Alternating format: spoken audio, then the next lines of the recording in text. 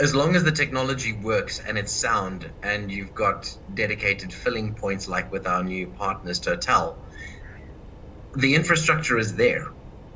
That means that the only real decision that the logistics company now has to yeah, has has to ask themselves is do I want to go cheaper or not? The the environmental benefits are definitely there and there's no there's no question about the environmental benefits. It's been proven time and time again. So yeah, from a conscience point of view, there's there's definitely no excuse not to go there. But from a cost point of view, if if you are a CFO of a company, it's your fiduciary responsibility to cut your cost for your shareholders. And if you're not doing that, then shame on you. And you know the beauty about this is that there is, there are no more excuses. It is a cheaper alternative, and it's better for the environment.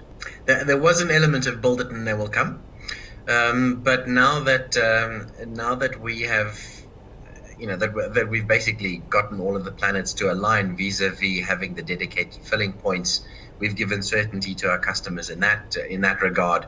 Um, you know the, with with some really innovative solutions like uh, like DAF adopting dual fuel Volvo and Scania and Iveco bringing in dedicated LNG um, trucks into the country we've we've started to see a massive upsurge in demand for the remaining product that we have left and for phase one, it, it is a race to the finish at the moment.